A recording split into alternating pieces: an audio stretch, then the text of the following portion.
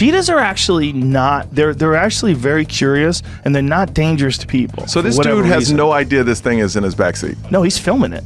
Oh, He's filming it. That's So, why he's not moving. is That the rule don't hopped in. move?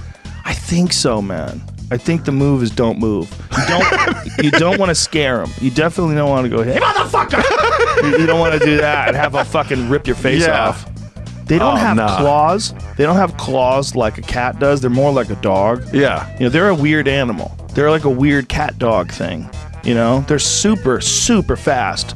Like, I've never seen one run in real life, but apparently, people who I know that have seen it say you can't believe how fast it is. You know, Two like, years I- ago, a woman who worked on Game of Thrones, she was there on vacation and she got pulled out of her fucking car. That's right. She rolled down the window to take a picture, and the cat came and snatched her out of the car. But don't you think people kind of like that deserve it? The roll down the windows thing, I think, is it's what we we're talking about. That you're not around it enough, Yeah. so you don't understand what it is.